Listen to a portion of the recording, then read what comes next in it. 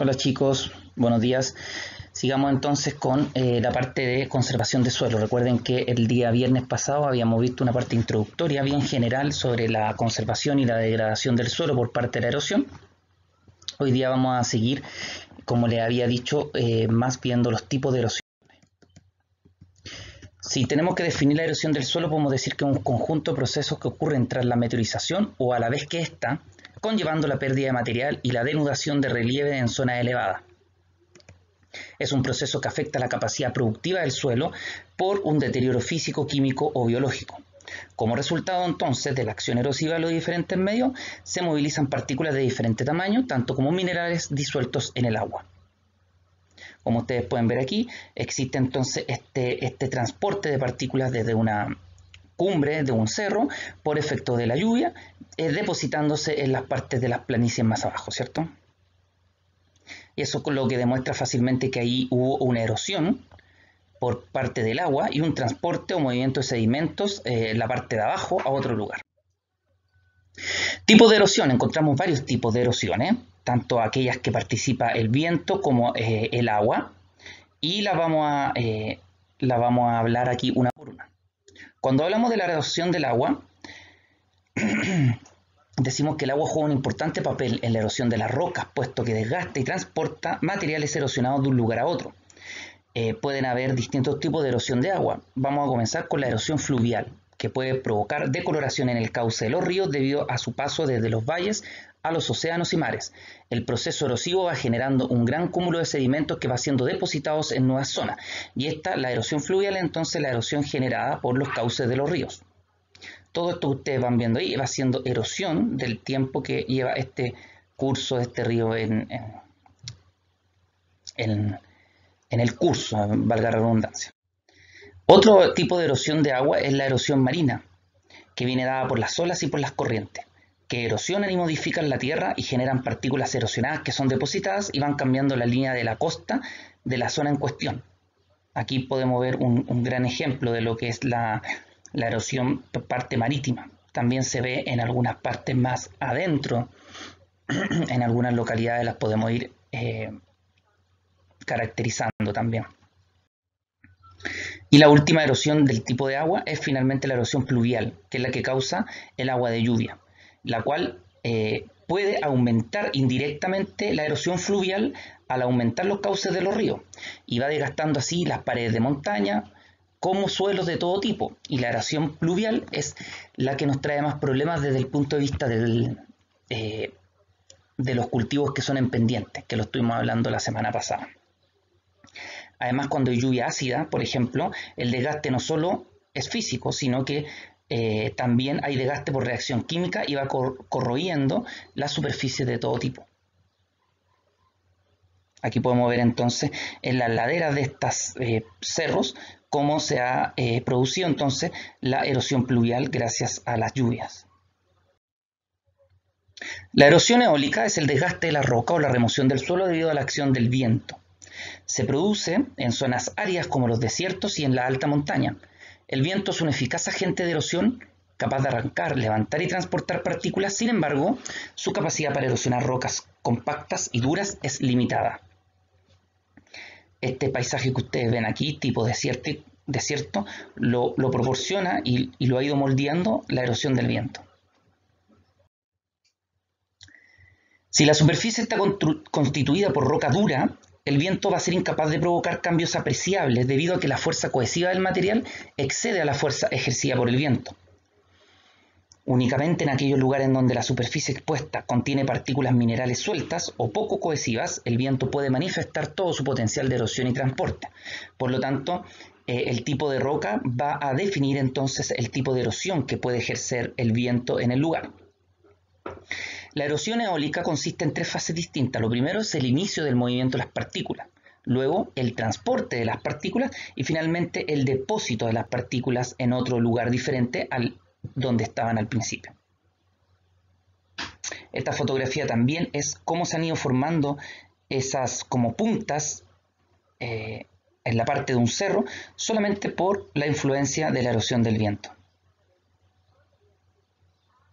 Y abajo también vemos cómo eh, los árboles han tenido que eh, limitarse a crecer de forma, por ejemplo, más horizontales que lo que fuese normal. Eh, se ve poca vegetación también y esto también gracias a la erosión eólica que hace que estos suelos sean poco atractivos para los cultivos y, poco atractivos también para los vegetales en general. Y la erosión glaciar que es la erosión que viene dada, como su nombre indica, por los glaciares, y que son grandes, eh, estos glaciares son grandes acumulaciones de hielo que están cubiertas por nieve, típicas de zonas de montaña o de costas con grandes acantilados. Si la base de hielo comienza a derretirse, el glaciar se desliza sobre el sustrato, erosionándolo a su paso, ya que va recogiendo materiales en su trayecto como granos de arena y rocas de gran tamaño, que son arrastrados de manera que a su paso van erosionando el lecho de roca, aparte de erosionarse el propio hielo y deshacerse el glaciar perdiendo su tamaño. ¿Ya? Y la última, que ya la habíamos comentado un poco la semana pasada, por lo menos lo que tiene que ver con su definición, es la erosión antrópica, que tiene que ver con la erosión causada por las actividades humanas, tales como la agricultura, la industria, la construcción de infraestructuras, el sobrepastoreo, la deforestación, el transporte de personas y mercancía, por caminos que mm, se van haciendo los, propios humanos y va desgastando entonces y va erosionando los suelos de aquellos lugares. Qué mejores dos imágenes aquí de eh, gente que está tratando de cultivar el suelo en pendiente y arriba se ve la deforestación que causa también este problema de erosión antrópica. Como consecuencia de estas acciones, entonces, se produce la pérdida de la capa superficial del suelo, de manera que se crea un suelo superficial que se encuentra altamente influido por la actividad humana. Recuerden que las primeras capas de la superficie son las más ricas en nutrientes y las más ricas en materia orgánica. Eh, son las que de alguna u otra forma protegen al suelo de la erosión. Una vez que nosotros desgastamos el suelo, perdemos estas capas, el suelo está completamente eh, a merced de lo que pueden ser eh, las erosiones de todo tipo, tanto naturales como antrópicas.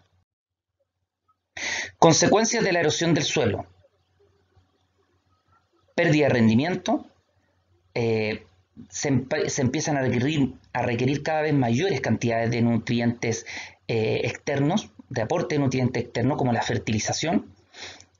los cultivos ya no pueden sobrevivir solos con el tipo de suelo que tienen contaminación de los suelos, contaminación de las napas subterráneas, desertificación, que es todo lo que va pasando en el norte de Chile, y, muchos estudios así lo, dicen, que la desertificación cada vez avanza más hacia el sur de la parte del norte grande.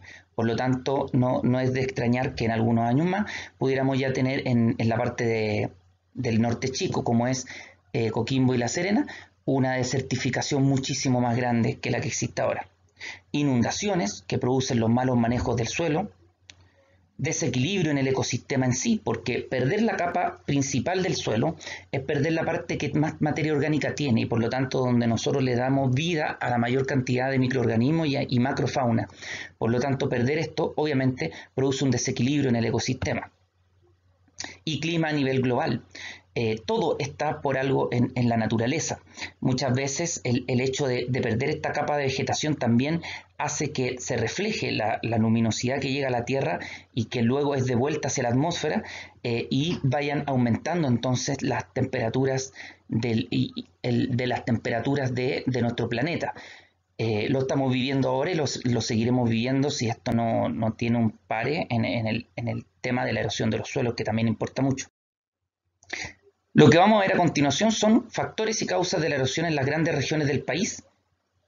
Eh, ir viendo la región, tipo de erosión y causas. ¿ya? Ahora lo vamos a ver así, un poco a la rápida, pero esperamos que en la clase lo vamos a conversar un poco más. Norte Grande y Norte Chico, que son las regiones de Tarapacá, Atacama, hasta la región de Coquim, tipos de erosiones eólicas y en la zona de las altiplánico, hídrica, en cordillera y sierra, lo que tiene que ver con la lluvia más que nada. Causas forman topografía de montaña y pendientes fuertes, suelos fácilmente erosionables, sobrepastoreo, aumento de la población, superficie predial insuficiente. Esas son las causas que tiene y que producen la erosión en esta, en esta parte de la región. Cordilleros de la costa y planicies. Eh, tanto en la región de Coquimbo, Biobío a Valparaíso, Araucanía y los lagos. Tenemos distintos tipos de erosiones. En el norte hídrica y eólica, y forman las dunas en los litorales, región de Valparaíso Biobío hídrica, eólica en sectores costeros, formación también de dunas, y en Araucanía los lagos hídrica, eólica en sector costero. Y aquí podemos ver las causas, tanto en la región de Coquimbo, topografía de cerro y lomaje, suelos fácilmente erosionables, cultivos en suelos no arables, tala de matorral semidesértico sobre pastoreo de superficie predial insuficiente. Y si nos vamos a la, la, región de la Araucanía los lagos, vemos topografía de cerro y lomaje, explotación indiscriminada del bosque nativo, habilitación de suelos de aptitud forestal para agricultura y ganadería. Precordillera andina, regiones de Valparaíso a la metropolitana. Tipo de erosión, más que nada hídrica. Todo lo que tiene que ver pluvial, más, más que nada, y fluvial también. Topografía de cerros y pendientes fuertes, tala de matorrales y bosques esclerófilos andinos, incendios y quema de matorrales y pastizales. Esas son las causas también de, eh, de este tipo de erosión.